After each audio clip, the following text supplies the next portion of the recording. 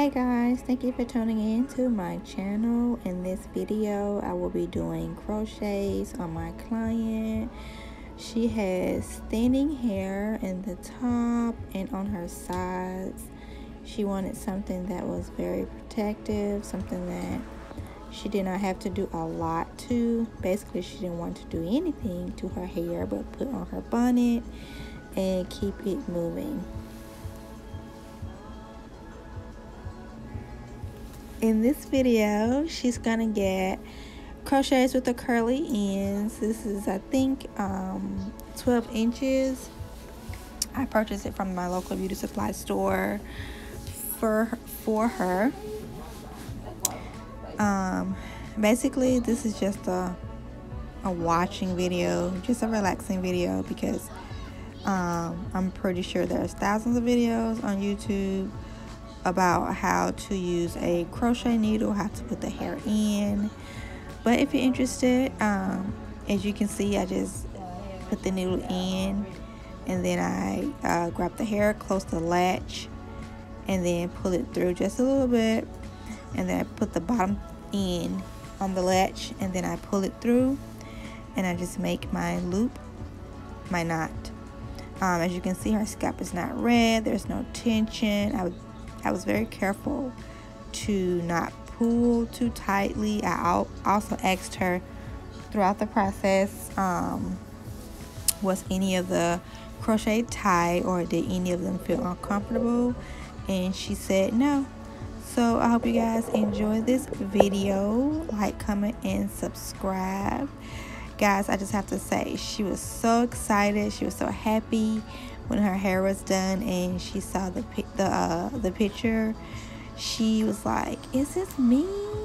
I thank you so much. You know, yeah. Hope you guys enjoy. Thanks for watching, and please don't forget like, comment, and subscribe.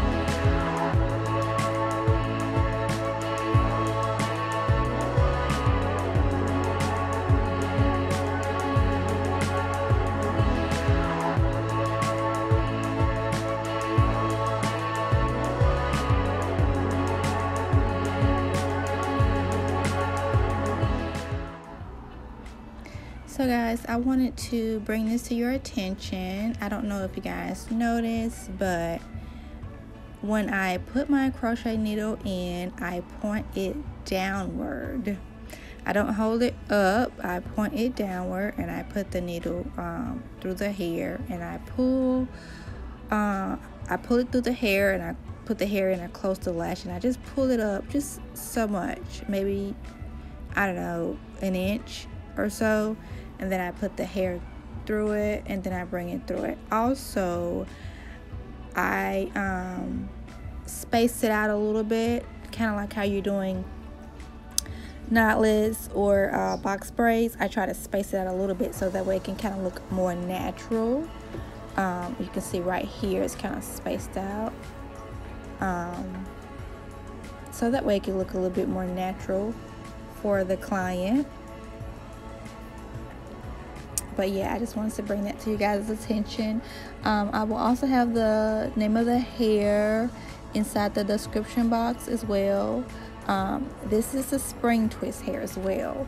But yeah guys this was very easy. Once i did her braid down everything else just flowed very smoothly.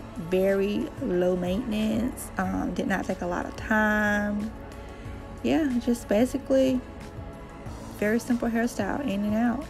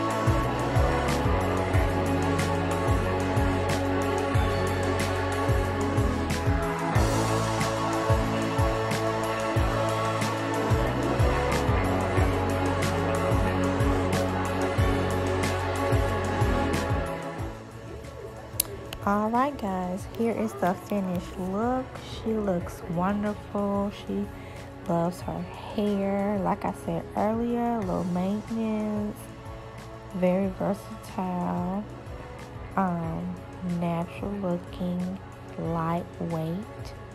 The only thing she has to do is put her bonnet on at night, get up in the morning and just go. Thank you guys so much for following me through this whole video. Please don't forget to like, comment, and subscribe. I'll see you guys in the next video. Thanks for watching.